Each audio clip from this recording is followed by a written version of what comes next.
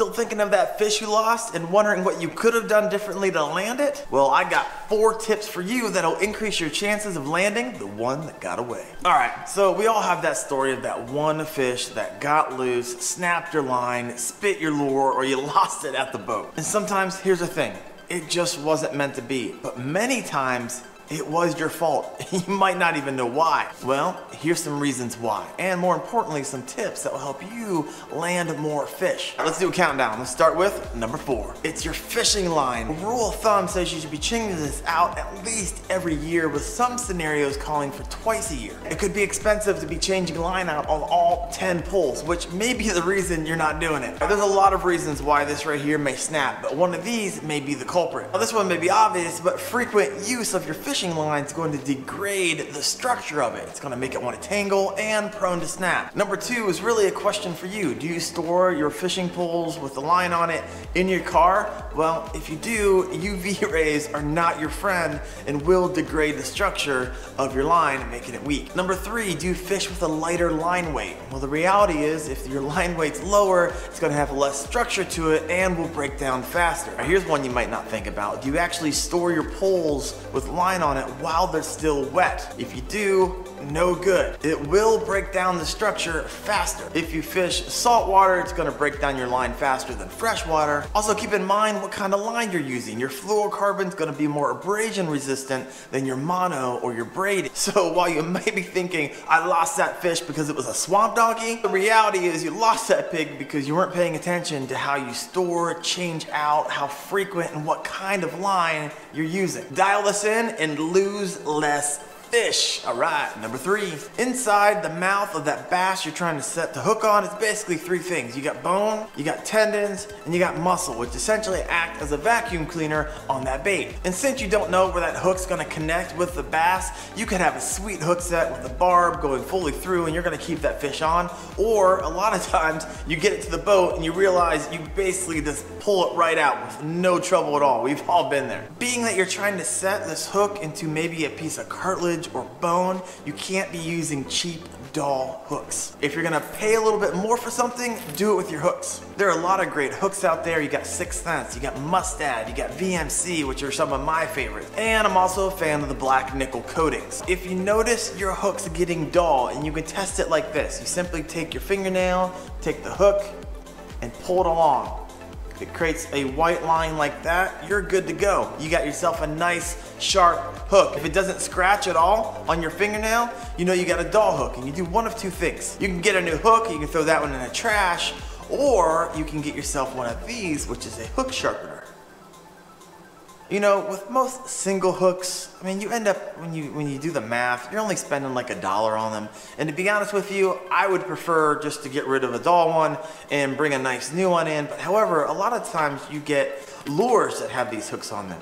Um, you might have spinner baits, and these things cost 10, 12, 15 dollars a pop. So you're gonna want to invest in one of these hook sharpeners. Properly sharpening a hook doesn't take that long. It really could be the difference between a really great day out on the water and a really bad day out on the water. I thought about taking a moment to show you actually how to sharpen a hook, but then I realized it was getting a little too complicated, and I figured I'd just put it in my upcoming videos. So hit that sub and bell notification and you will get notified when that comes live here in a couple weeks. And if you don't have one of these, I'll put the descriptions and link below. All right, number two. So I was shooting a video about nine months ago of how to utilize the wacky worm. And this five pounder just nailed it. I wasn't prepared for it. And because I wasn't prepared for it, I lost it. And it was my fault. And this is why. I didn't have my drag set. It was a real drag. That's a double pun. Real drag.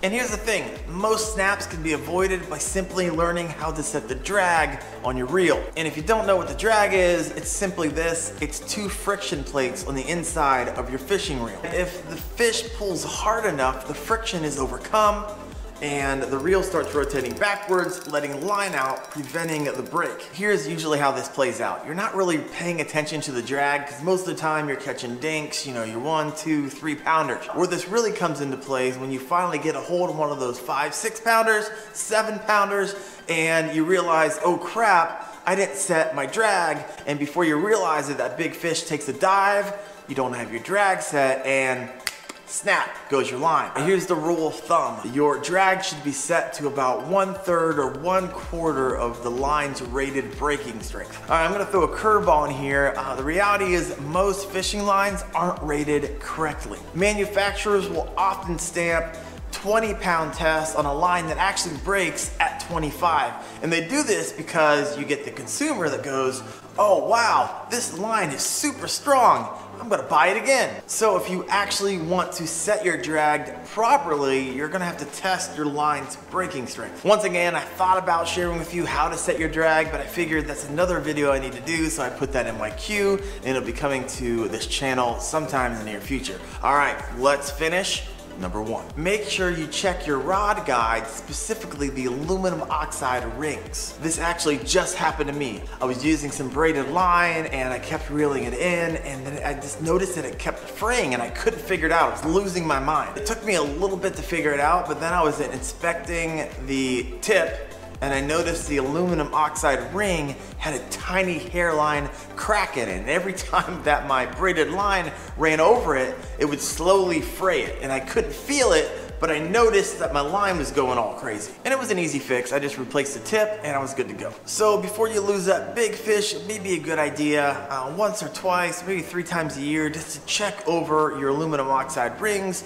on your guides just to make sure there's no hairline fractures in there because I don't want that to be the reason that you lose that giant fish. So as I was shooting this video, I realized there's probably 10 other reasons why it actually may be your fault that you're losing those big fish. So I'm gonna launch those videos here in the next couple weeks. Hit that that sub and bell and I'll keep them coming. Hey guys, thanks for watching. See you in the next video or out in the water.